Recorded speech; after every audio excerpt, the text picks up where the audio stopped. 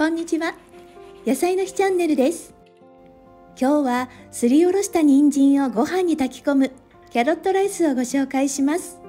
私の娘たちが小さい時から大好きでずっと作っている簡単なレシピです。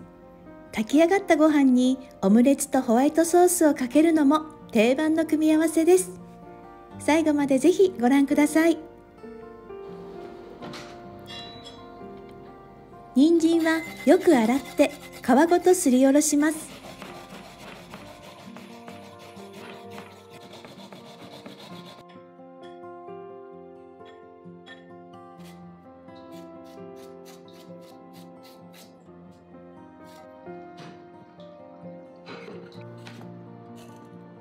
お米は洗ってざるに入れ水気を切っておきます。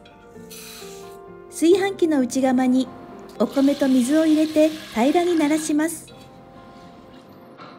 お米の上にすりおろした人参を水分も一緒にのせます。炊きムラができやすいのでお米と人参は混ぜないようにします。固形のコンソメを1個のせて普通に炊飯してください。ご飯を炊いている間にホワイトソースを作ります。ボウルに小麦粉を入れて泡立て器でよくほぐします。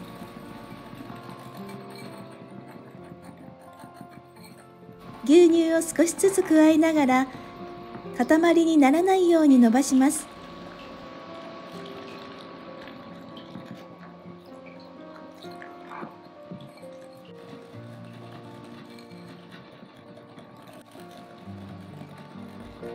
滑らかなペースト状になったら残りの牛乳を全部加えます。そしてよく混ぜ合わせてください。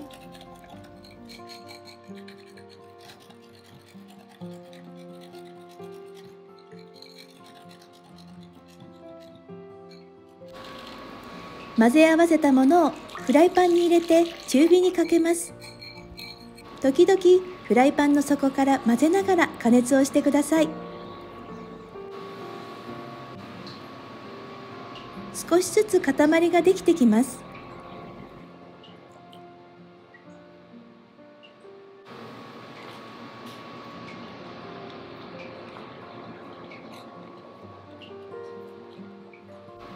沸騰したら12分フライパンの底からしっかり混ぜます。こうすると口当たりのいい滑らかなホワイトソースになります。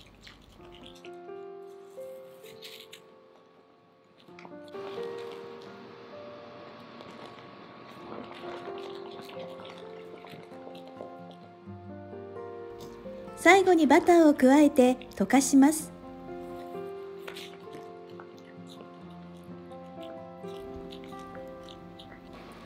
味を見て塩と胡椒を加えたらホワイトソースの出来上がりです。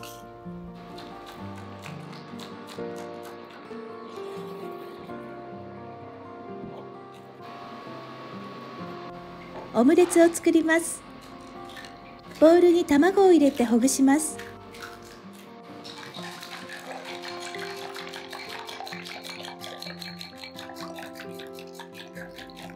温めたフライパンにバターを入れて溶かします。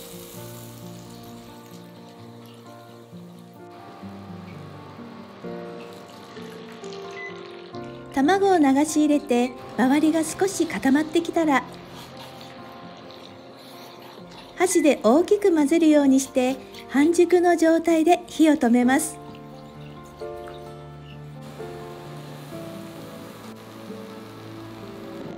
そうしている間にご飯が炊き上がりました。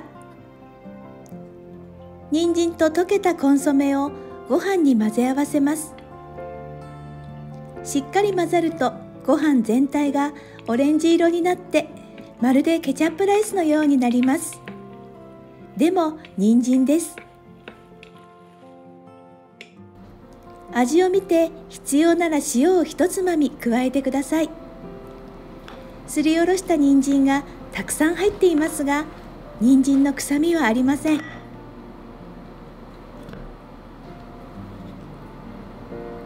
私のオムライスはキャロットライスをこんな風に盛り付けてオムレツをのせるのが定番です。熱々のホワイトソースをかけるとさらに美味しくなります。人参嫌いの方にもきっと食べていただけると思います。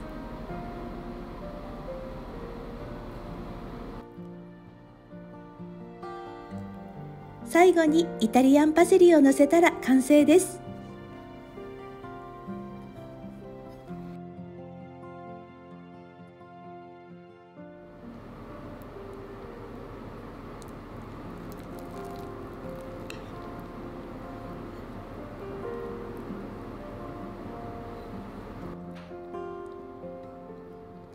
とっても優しい味で美味しいです子供たちが小さい時からよく作っていてオムライスといえばこの人参ライスにオムレツをのせたものが定番なんです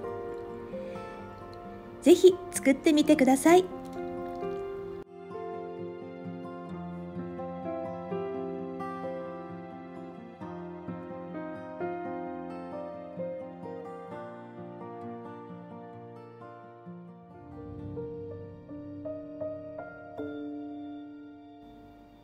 最後までご視聴ありがとうございました。